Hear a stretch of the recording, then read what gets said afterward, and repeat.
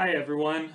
We will be doing chapter 9 this week, which concerns reporting and interpreting liabilities. Specifically, we're going to be defining and classifying liabilities, talking about current liabilities, long term liabilities, and then present value. So, just a level set here, what we're talking about, we know we have our four financial statements. We have the balance sheet. We have the income statement. We have the statement of owner's equity. We have the statement of cash flows. We know for the balance sheet, our assets equal our liabilities plus stockholders' equity. We know for our income statement, our revenues minus our expenses give us our net income or net loss. We know for the statement of owner's equity that there's a common stock equation and a retained earnings equation. Common stock uh, and retained earnings, so it would be beginning plus what you issued minus what you bought back equals your ending. Then for retained earnings, it's your beginning retained earnings plus your net income or minus your net loss minus your dividends equals your ending.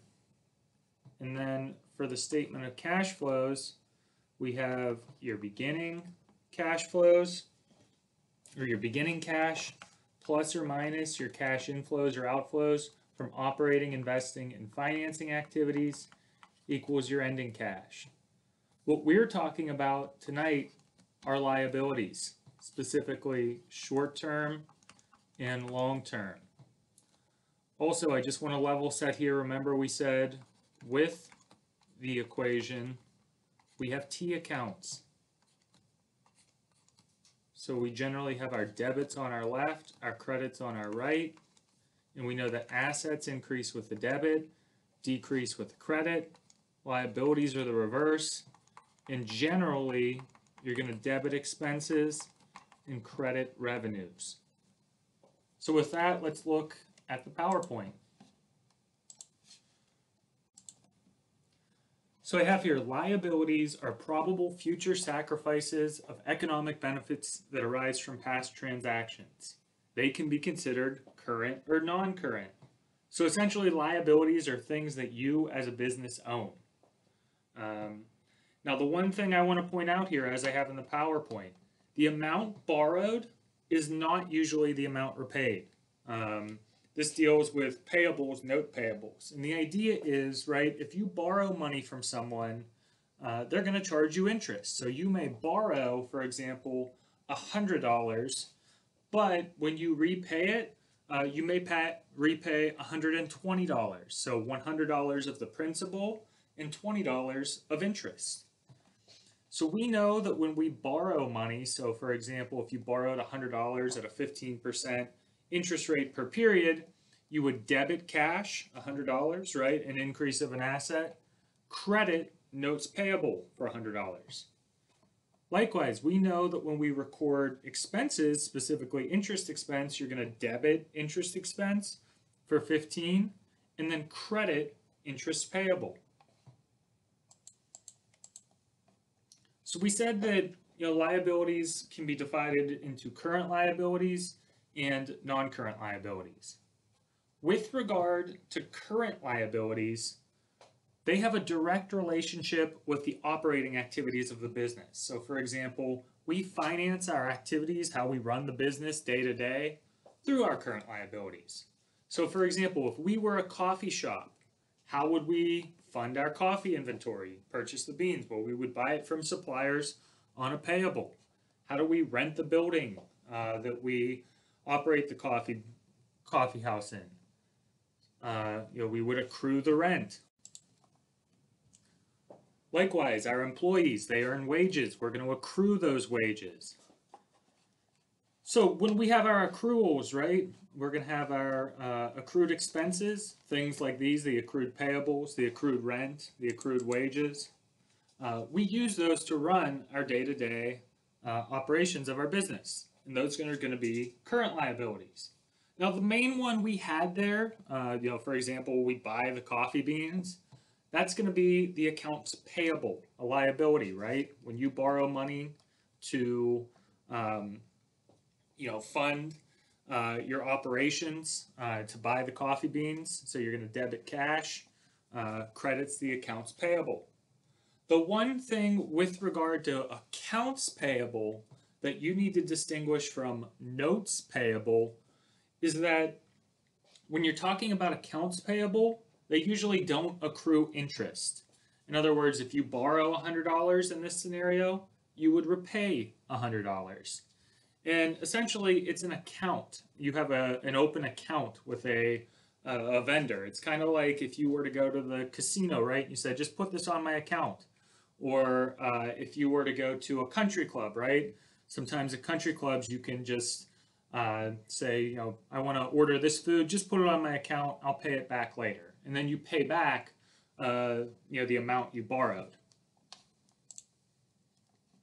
Other types of accrued liabilities that we were talking about, uh, and when we talk about accruals, right, accrued liabilities, we're going to have the recognition before we pay the cash. Uh, that is to say, uh, the obligation to pay the expense is recognized the liability until it's paid. We have things like taxes payable, uh, accrued compensation. So, as I have here for accrued taxes payable, these are taxes incurred in one period, but they're paid in a later period, right? So here's the idea. We make money during the accounting period. Uh, as we do this, you know, at the end of the period, debit tax expense, credit taxes payable. Later, in the next period, when we actually fill out our tax return and send in the payment, we would reverse out the payable um, and then credit cash. Likewise, we have our employees, right? They work for us every month. They're working, they're working. Uh, they don't get paid every day, right? You know, they work a couple weeks and then they get their paycheck two weeks later. So when our employees earn their wages, we're going to debit wage expense, credit wages payable. When we actually pay them, we're going to reverse out the wages payable and credit cash. So kind of same thing up here, right? You tee up the payable tee up the payable. When you actually pay it, uh, that's when you reverse out the payable in credit cash. Now I have here, this is where it's going to be you know, some new material. I have similarly, companies must record an accrued liability uh, for employees' benefits that have been accrued but not yet paid. So debit compensation expense, it's kind of like a wage expense, credit accrued vacation liability or you know, health insurance liability. This is where we also, you know, so we're talking about compensation, right? We talked about wage expense. We have other things that we have to accrue for our employees. One of the liabilities we have to accrue, so you know, credit payable, right? You know, that's what we're talking about, uh, is payroll taxes, and other types of taxes on income. So here's the basic idea, right? You earn income at your job. So let's say you get paid $20 an hour. And let's say you work 10 hours. So you should say, well, you know, I should be getting a $200 paycheck, right? I worked 10 hours. I get 20 bucks an hour. Why am I, when I get my paycheck, I'm only getting $175? What's happening here? Well, what is happening is your employer is withholding on your earnings certain obligations you owe on taxes. So it could be income taxes you owe, and uh, it could be other things like your health insurance, or it could be uh, employment taxes, FICA taxes. So as I have here, and these things are called payroll taxes. What they do is they include federal, state, and local income taxes, FICA, and unemployment taxes. The employer or the employee can be responsible. However, the employer always withholds and pays the employee's liability from the employee's earnings. So, in other words, how it works is your employer withholds the money, your tax obligation, they then send it in to the IRS, the government, right, or the appropriate tax agency. So I have here employers are required to withhold income taxes from the from the earnings of the employees. So hey, you're an employee, you make money, you got to pay income taxes on it. It's withheld by your employer. Likewise, hey, you're an employee, you make money, you have to pay FICA tax on that, uh, on your earnings, and your employer withholds it. What is FICA tax? Essentially, FICA uh, is the the tax that helps to fund Social Security and Medicare. So Social Security is when you get older and retire. Uh, it helps you maintain, you know, a reasonable uh, way of living. And Medicare helps to fund uh, health insurance for you know, elderly individuals. And uh, the idea here is, with regard to FICA, every time you make money, uh, you have to pay FICA on your earnings. However, the employer also has to pay FICA on your earnings. So you pay half of it and they pay half of it. Finally here, FUTA. Uh, so this is uh, federal unemployment. Uh, and there's also SUTA in states. These are taxes that are payable by the employer. So you make money, uh, the employer has to pay taxes. So what all of this means is, if we were to kind of graph this out, right? So we have the employee who works for the business. They make money, $200, right? However, their paycheck only says 175. We know the difference is for among other things taxes, right? The employer withheld $25 in taxes. They withheld it and then they send it to the IRS. And we said your earnings $200 on it. So 200 bucks. You as the employee are subject to income tax plus FICA tax. Likewise, on your $200 of earnings, the employer, right, they're subject to FICA plus unemployment taxes.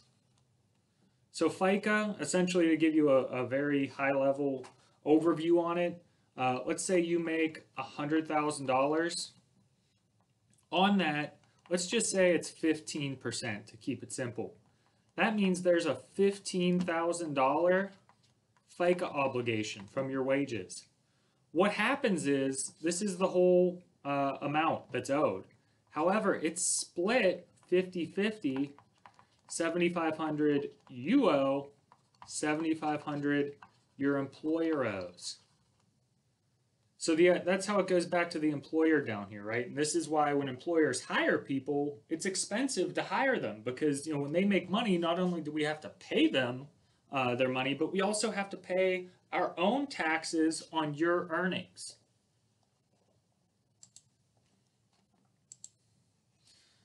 So I have here uh, two journal entries to record payroll tax. Now, first off, if this is tested on the exam, I'm not going to ask you specifically how to calculate the tax obligations. That's more of a, a tax uh, class. However, I would give you uh, the amounts and you would have to complete the journal entries. So if we look at these, we know that we're accruing a payroll tax. So first off, we paid our employers, uh, our employees, thirteen eighty-seven, uh, and then on that, uh, we've withheld one hundred and thirty-seven in FICA. We've withheld income taxes, and we're going to debit our compensation expense. In other words, this would be like the two hundred dollars, right? This would be like your take home, one hundred and seventy-five bucks. This is what your employer withheld. Now they, when they do the journal entry for this, because remember this is their point of view, they have to withhold this uh, and then pay it to the IRS. Because they're sitting on the money uh, and they have, have not yet paid the IRS, that's going to be a liability to them because if they don't pay it, they're going to be on the hook for it. So this is the journal entry with regard to the employee liability. So hey, you're the employee, you make money, we have to withhold taxes on your earnings. That's what we're doing right here. The second journal entry is the uh, is that for the employer. In other words, remember I said, hey, employees are expensive. You got to pay taxes on their earnings. So hey, our employees they had these earnings. Looks like uh, we ourselves are going to owe FICA half of it. So they pay half, we pay half, the same amount, right? It's like 7,500, 7,500. We also have to pay uh, an insurance on it. Um, so again, this would be an additional compensation expense. We withhold it, and then when we pay it, we reverse out the payables, right? So we've been talking, that's the general theme. Tee up the payable, reverse it out when you pay the cash.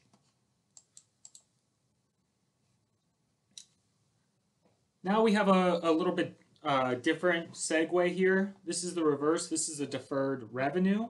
Uh, so the idea with these are, this is where you get the cash before you earn the cash, right? We said under a GAAP accrual accounting that we follow the revenue recognition principle, which basically says we only record revenues, that is to say credit revenues, do that journal entry, if and only if we earn the income. So what happens then if somebody pays us before we earn it? So like maybe they give us a deposit or something. Uh, and then later on, two or three weeks later, we provide the services to that individual.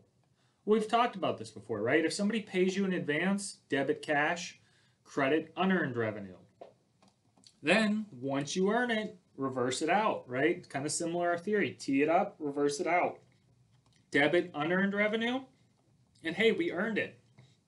300 to the extent we provided the services. Another item here are notes payable. So these are be, to be distinguished from uh, accounts payable because they're a formal written contract and also where they're distinguished is there uh, you have to pay interest on a notes payable, right? So think about a note, right? You rip out a note from your notebook, right? You write up a very specific contract. Uh, I'm going to borrow this much money and I have this much interest rate. Notes payable are very formal. They have an interest rate. How do we calculate interest expense, right? So we're talking about expenses, accruals. Well, how we do it is we take the interest uh, for the period. How we get this? We take the principal, which is the amount we borrowed, times the annual interest rate so that would be stated in our little agreement here, times the number of months that have passed over 12 months. So let's look at an example here to illustrate this, how we would calculate interest expense. So it looks like, hey, on November 1st, a company with a 1231 year end borrows $100,000 for cash for one year. The annual interest rate is 12%. So, hey, we borrow some money, you got to pay interest on it. It looks like the interest is payable on April 30th and October 31st of year two, um, the following year. However, remember, because we follow GAAP, we don't just wait, you know, necessarily when you have a cash outflow uh, to record your expenses. We accrue our expenses as they're incurred. Uh, finally, here, the principal is payable on October 31st. So just to summarize, we borrow 100 grand right here. We have to fully pay it off right here with interest. However, because we're applying GAAP accrual, we have to, at certain intervals, record our interest expense. So let's start at the beginning, right? In the beginning, on November 1st, we record the note payable. So what that means is, hey, we borrowed some money. We now have more cash, debit cash credit note payable, a liability. Now, here we are at 1231, right? So two months have passed. We had November and we had December that have passed. We need to, following GAAP, accrual accounting principles, accrue our interest expense, right? So we've been talking about these. Tee up the payable, tee up the payable, reverse it out once you pay the payable. So we're going to use our formula here. We know we borrowed 100,000 times 12% annual interest rate. Two months have passed, right? We got November, we got uh, December, we're at the end of December. That means we're going to have $2,000 interest expense. So debit interest expense, credit payable. So now we're moving on. It's the end of the year. we we know per the terms and conditions, right, uh, that we need to make uh, our first payment of interest on 430, right? We, said we said that back here. Interest is payable on April 30th. Interest is payable on 1031. So what happens is right here, hey, on 430, they want the interest paid, the amount of interest that's paid, the cash that goes out is all of the interest that's accrued from 11-1 until there. We know already from the last journal entry that we accrued interest for these two months. What that means is four more months have passed. We need to accrue interest for those four months. After we accrue that interest, we push it out. So we teed up the payable and we push it out. So what that means is step one is accrue four more interest, four more months of interest. So 100,000, 12%, four more months. That gives us $4,000 of interest expense. Now here we are, 430. We got to make our first payment under the contract we agreed to. Pay the interest for all that time that's passed. So we know from this journal entry for these two months, we've accrued 2,000. We know from this journal entry, we've accrued 4,000. What that means is our interest that we owe right here is 6,000. So we pay the interest, the cash, send the cash payment out, reverse out that payable that we teed up. Next, we're moving along the timeline here, right? It's six months later, right? we got to do two things here. We have to pay off the note. We have to pay our second interest payment. And we have to accrue the interest, right? So, uh, seven more months we have right here. That's uh, just to clarify. So, first thing we got to do is record the interest expense for the seven months, right? Because we accrued the interest expense. We follow GAAP accrual accounting. We're going to do 100,000 times 12% seven months over 12 months, that means $7,000 of interest. Likewise, we need to pay our second payment, our second interest payment. Well, we've paid our interest for all of this already up to here. We've accrued our interest for 430 to 1031. Now we got to pay it. So we teed up the payable, reverse it out, credit cash. We actually had a cash outflow. Finally, 1031, pay back the 100 grand you originally borrowed. Reverse out the payable, credit cash. So we're going to be moving, uh, you know, continuing along the, the current liabilities theme here. Um, one of the things uh, that you need to be cognizant of is the current portion of long-term debt. What does that mean? So, hey, we have a payable, right? We signed an agreement. We got to pay stuff over the next five years, for example. However, some of that that we have to pay, maybe it's installments a little bit this year, a little bit next year, to the extent we have a long-term liability that is due in the current year, so to the extent the portion or the amount of a long-term debt that's due in the current year within the next year, that's considered a current liability, right? Because we said the line of demarcation is one year. So if you expect to pay it in the next year, that's a current liability. So to the extent you have uh, a long-term liability that you're going to pay in the next year, that's a current liability. Another liability that we could have on our balance sheet is a contingent liability. And there's two ways that this can arise, through a warranty expense or a lawsuit. So what does this mean? First off, when you say the word contingent, right, it's contingent on something happening, right? Uh, you know, so maybe I will arrive uh, at dinner contingent upon there not being traffic, right? Essentially, it's conditional. Um, and what we're doing here is we're dealing with estimates, right? Uh, and the first example are warranties.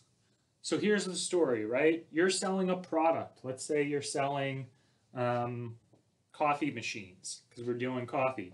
When you sell them, right, you say, okay, I give you a warranty on this coffee machine. If this thing breaks in the next six months, come and return it. Uh, we'll give you a refund. Well, what happens is some customers actually take you up on that, right? Maybe the coffee machine breaks, they return it. Uh, what you do in that case is you have an expense, right? It's kind of like, it's, it's, in some ways like the opposite of a bad debt expense in the sense that uh, somebody's returning something, now you have bad product. But the idea is you have a warranty expense. The idea, some customers are going to take you up on this and it's going to cost you money when they return it. But here's the idea we don't wait uh, until uh, our customers actually return the item to have the expense. In other words, just like with bad debt expense, we make an estimate and then we true it up after the fact. We follow the same format for warranty expense. So, hey, when we sell our coffee machines, we make an estimate uh, of what our warranty expense is going to be. Once the customers utilize that warranty, that hey, they return the coffee machine, uh, we reduce out the payable. So take the expense up front, reduce out the payable. Another type of contingent liability here, so it's subject to something happening, right? So the warranty is contingent upon them actually returning it. Lawsuits are contingent uh, in the sense that, hey, we sell a product, a coffee, a coffee machine, what happens if that burns somebody and it burns them? Uh, the temperature is extremely hot, more than what a reasonable person would expect. We could be facing a lawsuit. Uh, now, let's just say that we know something bad has happened with our product, right? Maybe it burned somebody, a hot, a hot coffee. Um, we know that a lawsuit's in the works and that they're going to be suing us. Now, there's a couple different things here, right? It's contingent, first off, because we don't know if they're going to win the lawsuit uh, you know, we can't, we can only like make a prediction, right? You don't know if you win until you actually win. So what that means is uh, we have to make an estimate about the outcome, how much, like what are the chances that this goes through? And hey, if it does go through, what's it going to cost us? Now, depending on uh, how predictable or you know our predictability level, if it's probable, reasonably possible, or remote, plus our ability to estimate the amount from the lawsuit, that determines and controls how we report it on the balance sheet or if we put it in the footnotes or if we don't report it. So, just to level set, the idea here is we're facing a potential lawsuit. Should we put this as a liability on our balance sheet? Or should we disclose it in the footnotes? Or should we just not include it at all? What are the rules? What are the criteria here? So there's two things here. It depends on how likely the lawsuit is going to succeed and if we can estimate what it's going to cost us. The big thing here that I have in red is when does it go as a liability on the balance sheet? Well, when it's probable and you can reasonably estimate what it's going to cost you. Otherwise, you're going to disclose in the footnotes, or if it's remote or you can't estimate what it's going to cost you, no disclosure.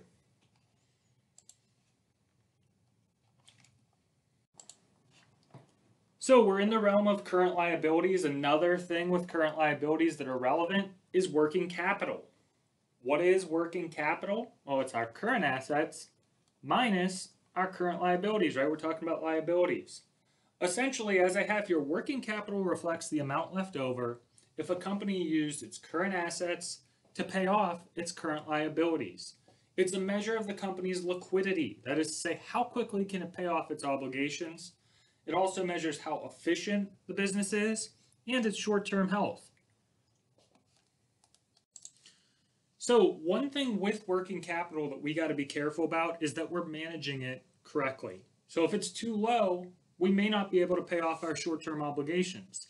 Uh, higher working capital shows the ability of the company to grow, uh, however, you don't want it to be too high. Uh, you want to have a nice balance in light of uh, how efficiently and effectively you want to run your business.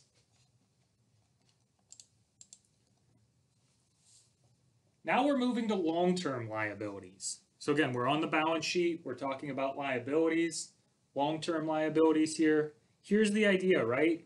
you go on Shark Tank. I have a really great idea. Um, you know, what's I'm trying to think, uh, Sponge Daddy, right? Like the little sponge that's the smiley face sponge. Hey, we we have Sponge Daddy. This is our idea. We know that it's a, you know, a million dollar idea, but we don't have funds to start our business. So we go on there and we get money from one of the sharks, right? And they lend us the money, right? So there's generally two ways uh, that you can obtain money to run your business, right? You can borrow money or you can let somebody buy into your business, right? They get stock. Now, when you borrow money, there's two ways you can borrow money to run your business. You can borrow money by issuing a bond, or you can have a long term note payable from a private lender. So, this would basically be like borrowing money from a shark. And when we do this, we said, hey, notes payable, right? They accrue interest. We need to make sure that we're appropriately accruing interest. Now, with bonds, these are going to be next chapter, but it's just setting the stage uh, with this chapter when we talk about present value, future value. Uh, with regard to bonds, this is essentially the business receiving a loan or borrowing money. Bondholders uh, who view the bond as an investment provide the business with money for in exchange for the bonds. Later, the business pays the bondholders interest and at maturity the principal. So the business, like the sponge daddy, they're the issuer. They issue the bond and receive the money to go and fund the business. They got to pay that back with interest. Bondholders are that's like the sharks, right? They're the investor. Um, again, it's difference between a note payable uh, and uh, a bond in the sense that bonds are more publicly traded, but the general idea is the same. You're borrowing money. And with it, you borrow it, you have a liability, and then you accrue interest expense with the passage of time, just like uh, the note payable where we accrued the interest expense before. Leases, we've talked about these. Uh, this is just another way uh, that you can have uh, uh, an obligation or expense to acquire property to run your business. We said the lessor is the person who owns the property. The lessee is the person who uses the property. So it's kind of like landlord tenant. And we distinguish between an operating lease and or a capital uh, finance lease. And we said generally, you know, we're not going to worry too much about this uh, for purposes of this class. It's more of an advanced financial accounting class, but we're just teeing it up and getting some familiarity with terms. So if and when you do study this later on, you're a little bit familiar with it. So this is where uh, things start to tee up a little bit. You need to pay attention carefully. Uh, we're talking about long-term liabilities, right? And we're saying you borrow money and then you pay interest, pay interest, pay interest, and then pay back what you borrowed. With that, uh, we're starting to get into the territory here of an annuity. So an annuity is a special financial term, right? You may have heard of it before, a fixed annuity, this annuity. Really, what an annuity is, is a series of consecutive payments for an equal dollar amount over the same period of time when the same interest rates at play. Now, depending on if you make your payment at the end of the month, that's an ordinary annuity. If you make your payment at the beginning of the month, uh, that would be an annuity due. One way you can think of an annuity, right? You go and buy a vehicle. Hey, I want to borrow, uh, buy a vehicle here. I sign an agreement uh, with 4% interest rate. Every month to pay off my vehicle, I got to pay $500 a month for the next five years.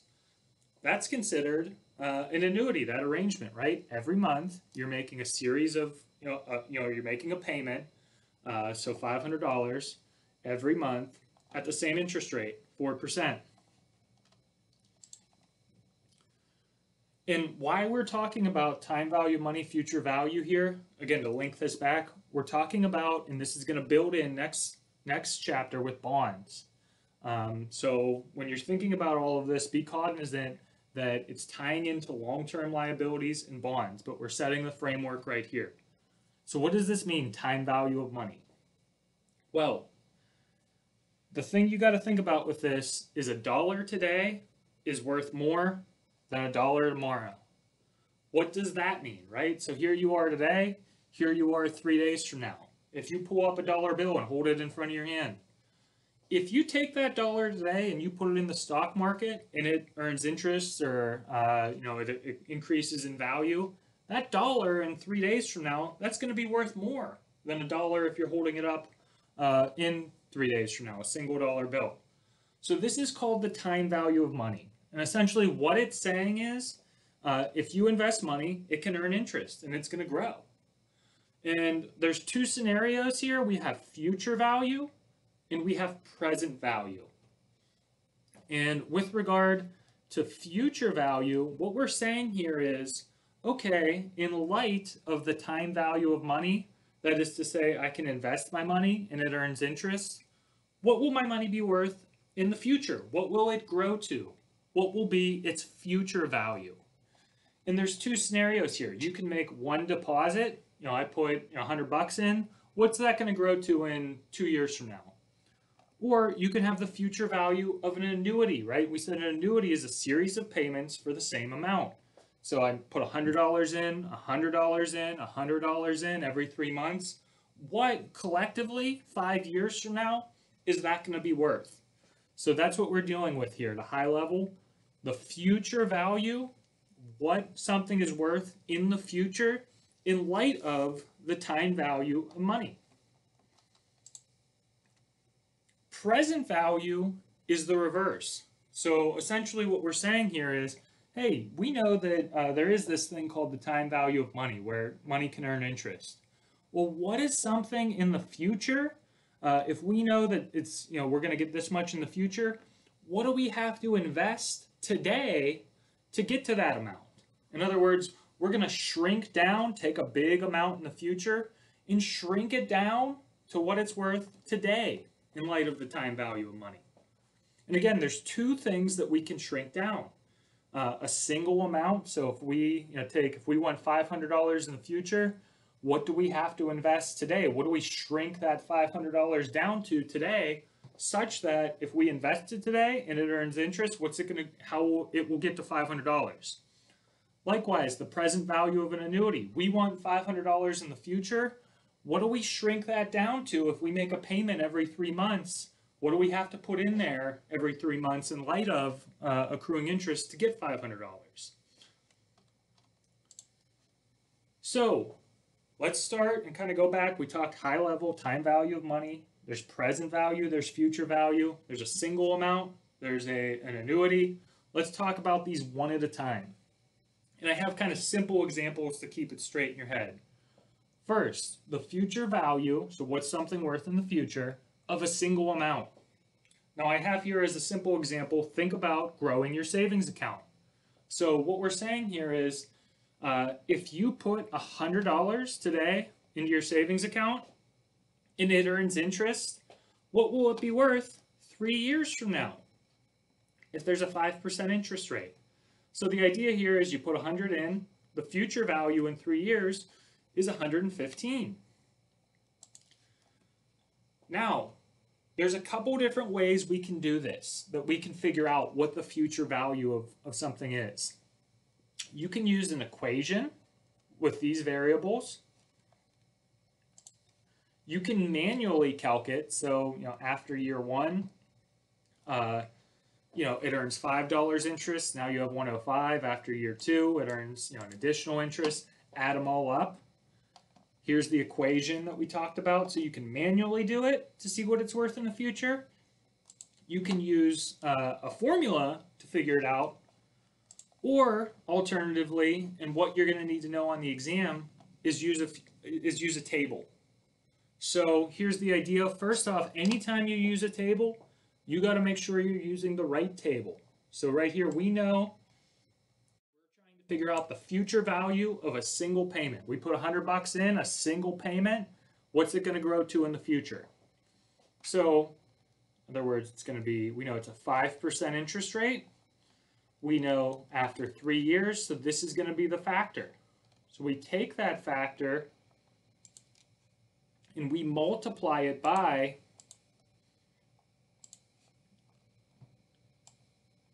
the $100 we put in That's going to give us the future value.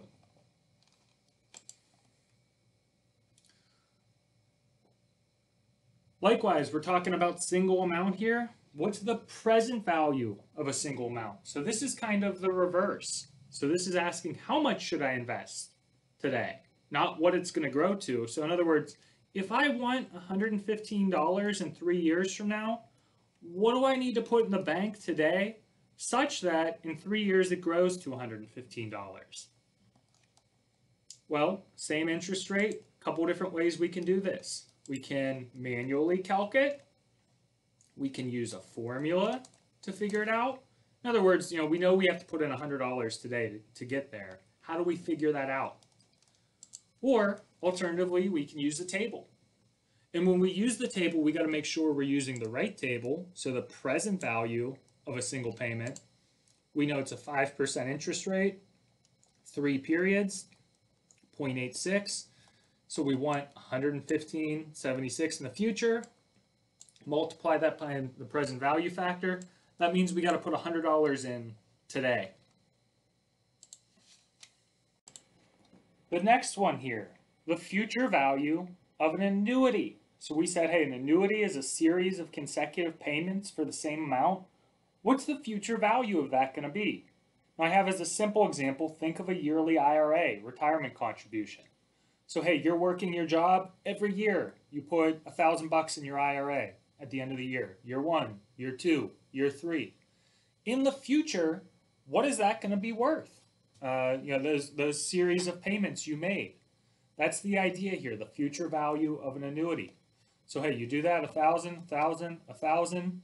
At the end of year three, some of this is earned interest. It's worth 3,100. Going to assume here a 6% interest rate. How do we calculate that? Well, you could do a manual calculation. That would be you know, complex. You could uh, use Excel. You could use Excel for all of these. Uh, or you could use the tables, which, like I said, we're going to use the tables. Now, with regard to the tables, uh, technically here you could combine two tables. So each of the deposits find their future value. Or the easier way to do it is use the table for the future value of an annuity. So what you do here, we got 6% interest rate, three periods, 3.18360. So $1,000 each payment times the factor gives us 3183. So the last one here is the present value of an annuity. So this is kind of shrinking down payments to what they're worth today, a series of payments. Now I have here uh, taking the lump sum if win a lottery. It basically just means comparing the lump sum uh, with a series of future payments. So imagine this. You won the lottery and are offered uh, two choices. You can either take a million dollars at the end of each year for the next three years, or we'll give you $2.5 million today. Well, we know that uh, you know the time value of money. If we get that 2.5 million, we could invest it and make money. What's the better scenario here? What should we do if we have a 7% interest rate? Well, you're going to present value, so the annuity, the three payments, to what it's worth today. And what it's worth today is 2.6 million. So in other words, if you were to take this option, 1 million at the end of the next three years, in today's money, that's 2.6 million. When you present value it, shrink it down. Because 2.6 is greater than 2.5, or stated alternatively 2.5, is less than 2.6, you'd actually end up getting more money overall by taking the annuity, by taking uh, this option right here, each of the next three years. So how do we calculate this? A couple of different ways. You can manually calculate, you can use Excel, you could uh, present value each of the payments, or the easiest you can do is use the present value of an annuity table. So how this works is, we know it's a 7% interest rate, we know three years, that gets us the factor. We take the $1 million payments times the factor, that gives us the 2.6 million. Now, a couple kind of uh, clarification points here. We're talking about long term liabilities, right? You may borrow money and have to pay it off in the future. Present value and future value, these are important in those determinations, in those calculations, because they help tell us hey, how much money do we need today such that in light of the time value of money, uh, if we invest it, we can pay something off in the future. What will it grow to? What what cash do we need to have today to pay off what we owe in the future? Now, how this is important for a note payable, right? We want to present value a single amount. So, what are we going to have to present value today, such that in the future, when we got to pay off the note payable, that we have enough money to pay it off. Uh, likewise, for bond interest expense, you know, we said with bonds, right? There's generally you borrow money, a lump sum, then every uh, period you make a payment for interest, and at the very end you pay off what you borrowed. Well, what we need to do there is present value those two things, the series of interest payments, as well as uh, that lump sum payment at the end. This is just a, a further point of clarification. Uh, to the extent this specific chapter is on the exam, uh, it will be a annual interest period. Bonds, however, it is fair game to have a non-annual interest period. So in other words, what this all is saying is everything we've been looking at so far assumes a yearly interest rate. So it compounds the interest, it adds on to the principal um, at a yearly interval. So you have $100,000, 7% interest at the end of one year, there's $7,000 interest. You add that to the $100,000 you borrowed, such that when you then calculate your next year interest rate, you're going to multiply it by $107,000. And that happens annually there. However, can the interest can compound, that is, be added to the principal on a non annual basis. Uh, so quarterly, half year, monthly, daily, this is how you would uh, convert a non-annual interest rate to an annual interest rate. Now, why you would do that? Why would you convert it? So you can use the tables. Like so, for example, these are based off, uh, you know, compounding interest rate for one period. So let's look at a couple examples here for how uh, you know all of this ties together. Right? We're talking about long-term liabilities and we're saying how does present value and future value affect these? So when we look at this example, it says on 1-1-19, the company buys a delivery truck and signs a note payable of $200,000 to be paid two years later. Let's assume a market interest rate of 12%. So the first thing we got to do on the date of entry is record uh, what it is we receive. So debit delivery truck, credit note payable. However, notice here we're not doing it for 200,000, right? We're doing it for 159,000. How did we get that? What is going on here? Well, what we did is, okay, we have $200,000. We know it's two years and there's a 12% interest rate. So what we're trying to figure out here is what do we put away now such that in two years it will grow to 200,000, a single amount? So we're going to use the present value of a dollar. So that means the present value of a single amount. To distinguish that from the present value of an annuity, we're going to say 12% for two periods. It's going to give us 0.79. So we take 200,000 times the 0.79, that's going to give us 159,000. So that's on January 1st of year one. At the end of year one, right, 12 months have passed, we now have to calculate interest expense for the year. So we take the 159 that we got from up here times 12% gives us roughly $19,000 in interest expense. So debit interest expense, credit note payable, increase the note payable by 19,000. But check it out, our note payable started at 159. We just increased it by 19. So that means it goes to 178, 159 plus 19. This is relevant uh, because when we calculate our next interest expense, we have to base it off of this amount. So we borrowed on January 1st. It's the end of year one. We've accrued interest expense. We now have a bigger note payable. Another year has passed, so we're at the end of year two. We have to calculate interest expense for year two. So the current balance of our note payable is 178,000, right here, the carrying value, times 12%. That's going to give us a year two interest expense of 21,000. So debit interest expense, credit note payable. But check it out. This takes our note payable 178 plus 21. That's going to take us to the full 200,000 such that at the end of the two years, right, we have we got to pay back the face. We're going to reverse out our entire note payable. It's now worth 200,000 because it started at 159. We increased it by 19. We increased it by 21, all with credits. Now we reverse it out with a debit and we pay the cash. Second example here, let's look at this. So when we look at it, it says, hey, on January 1st of year one, a company buys several machines and signs a note payable uh, to make three end of year payments for roughly 163,000. So payments are due at the end of year one, end of year two, and end of year three.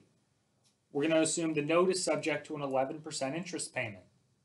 So what's going on here? On 1-1-19, year one, we buy a machine with a note payable. Debit machine, credit note payable. How do we know what to put in there? Well, essentially what we're going to do when we do this is we're going to present value those three payments of $163,000 to what they're worth today. Find their present value. So we're talking about a series of consecutive payments, right? So we know that's an annuity. So we're going to go to the annuity table down here, uh, future value of an annuity. But check it out, this is a testing here for you. We did the future value of an annuity. Future value, that's wrong. Oops. We're trying to find the present value of an annuity. So this is just showing you, hey, you have to be really careful when you're looking. First off, are we using the present value or are we using the future value. See how it goes present, present, present, present, future, future, future, future. And likewise, once you do that, you got to say, am I doing a lump sum or am I doing an annuity? So here, uh, like I said, we're doing the present value of an annuity, 11%, three periods, 2.44. Let's see here, 2.44. We were on uh, this slide. So we take the payment, 163, times that factor, that's going to give us 399,000. Now we got to uh, calculate interest expense at the end of year one. So we're going to take the 399,000 times the 11%. That's going to give us a $44,000 interest expense. Uh, we know that per the terms and conditions, we're paying cash of 163,000. So what we do here is we reduce the note payable with a plug, 119,000. Next, uh, we're continuing on here. We need to figure out what happens at the end of the next year, 1231.20. So we reduced the note payable to 280,000. Uh, again, in the first example A, we built it up. Now we're reducing it down. So it's going to be 280,000 times 11%. That gives us 30,000. Year two interest expense. So interest expense, the cash we know we're going to pay out, plug the difference for note payable to reduce it down. Finally here at the end of year three, we have a new carrying value for it. You know, we started uh, with a certain amount, we adjusted it, and we adjusted it again. We take the 147 times the 11%, that gives us year three interest expense. We know that's our cash. Plug the note payable for 147,464. Finally here, uh, we're going to talk about the account payable turnover ratio. So this measures how quickly management pays its suppliers. The higher the ratio, the more it suggests the business is paying its suppliers in a timely manner. Uh, essentially, it's your cost of goods sold over your average accounts payable. And it's essentially just looking at uh, how effective are you at paying off your payable. So this is a ratio that shows that. So with this, we're going to move uh, into the problem. So that will be the second lecture.